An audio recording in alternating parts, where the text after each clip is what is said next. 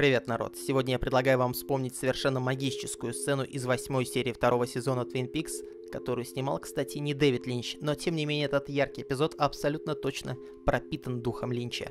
Срежиссирован он был Калибом де Шанелем, который широкой публике сегодня больше известен как мастерский оператор, и во многом именно, похоже, его операторская чуйка явно и помогла сделать эту сцену такой особенной.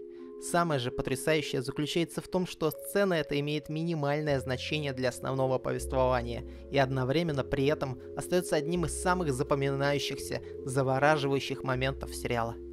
Эта сцена невероятно теплой ностальгии также невозможна была бы без сюжетного контекста. В этот момент сериала Бен и Джерри Хорн находятся в тюрьме. Ситуация для них, как вы понимаете, весьма хмурая и беспросветная. И причем, если зритель и не испытывает прямого сопереживания сложностям, в которые вляпался Бен вместе с Джерри, то тем не менее он все равно, скорее всего, испытывает относительно близкие героям сериала чувства. В Твин Пиксе в этот момент вновь как никогда тревожно. Боб наносит новый удар, и то, что нужно зрителю в этот момент, как раз такая вот небольшая доза волшебного эскапизма, которая, отдалив от насущной мрачной реальности, при этом все равно заставит его испытывать к персонажам сериала более близкие чувства через узнаваемые для каждого человека воспоминания из детства, которые позволят увидеть и Бена, и Джерри, уже до этого, конечно, не раз достаточно обаятельно показанных, но все-таки почти без положительного окраса людей с добрыми сердцами.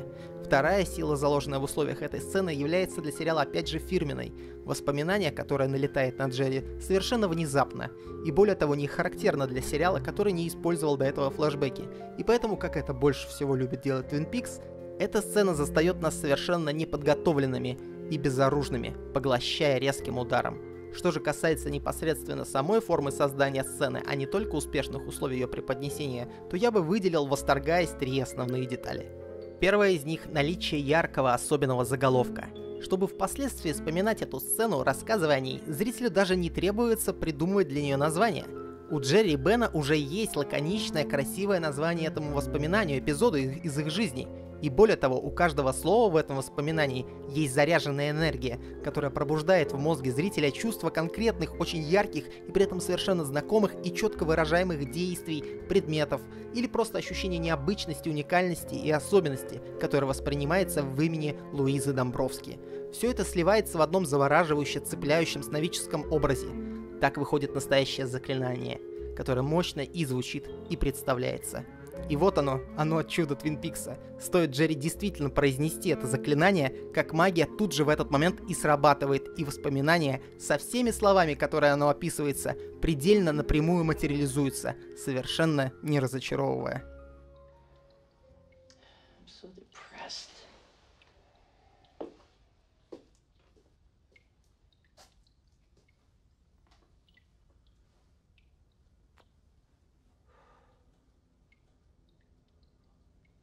Beds.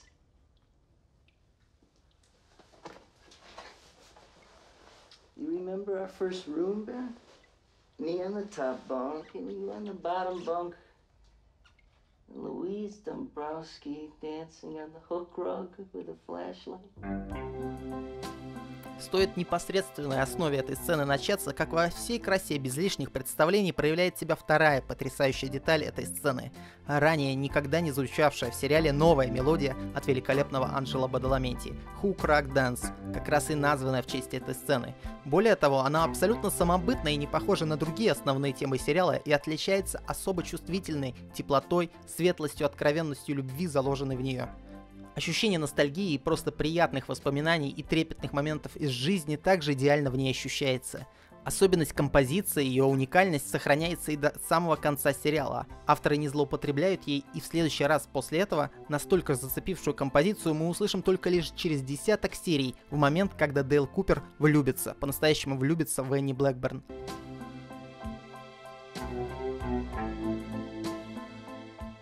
Третья деталь скорее становится совокупностью всего отображения танца Луизы Домбровски, мастерской режиссуры и постановки, а также того, как была сцена снята непосредственно за счет операторской работы.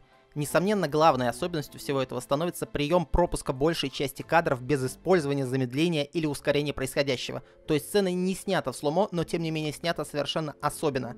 Мне кажется, что авторам удалось найти потрясающий способ реализации идеи воспоминания. Когда мы прокручиваем в голове воспоминания, мы естественно не видим все так, как было в реальности. Картинка в голове кажется относительно размытой, не совсем четкой, более абстрактной.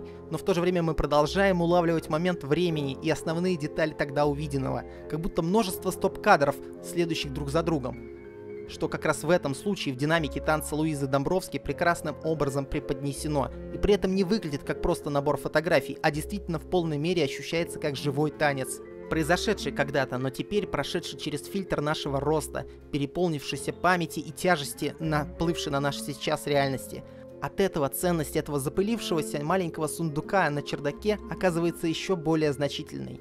К виртуозности Луизы можно добавить и еще несколько ключевых моментов. Полное сохранение визуальной и атмосферной эстетики Твин Пикса, когда настолько светлый, чистый и теплый момент происходит визуально в темноте, только при свете фонарика и тусклого фонового света из коридора. Это очередная квинтэссенция всего сериала, уложенная в формат микроэпизода. Любовь, позитивный настрой и тяга к жизнерадости и каким-то бликам ежеминутных наслаждений на фоне страшного зла, сотрясающего мир. В конце концов, огромную роль в этой сцене играет и лица, показанные в эти секунды. Светлые, легко узнаваемые, такие очаровательные лица маленьких Бена и Джерри, и так как мы смотрим на танец от их лица, то совсем по-другому выражено лицо Луизы. Оно скрыто в темноте и узнается только по очертаниям краев.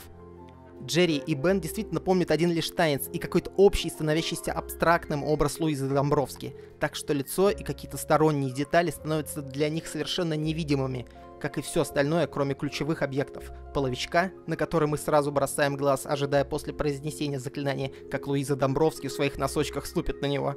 Фонарик, которым Луиза, невинно заигрывая, светит прямо в глаза завороженных детей. И в конце концов просто двухэтажная кровать. Позиция с обзора, которая и пробуждает изначально в Джерри это исключительно волшебное воспоминание.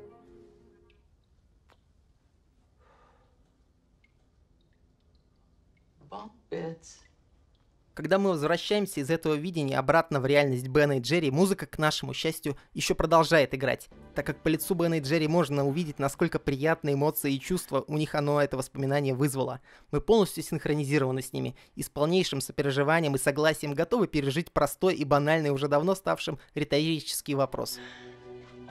Lord, what's become of us? Ответ на него всем известен. Мы просто все повзрослели, и теперь жизнь стала сложнее, суровее и тяжелее. И потому беззаботный микс беззаботной светлой мелодии Бадаламенти жестоким образом все-таки слишком быстро для нас обрывается. И эта сцена заканчивается.